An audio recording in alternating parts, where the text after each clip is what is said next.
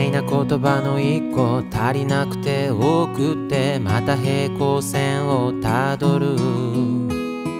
月明かりに吹くビル風強い言葉を選んでちゃんと傷がつくように罵ってから部屋を出たいつからだろうあなたの背中が少し小さく見えた。強い人じゃなくて強がりが上手な人。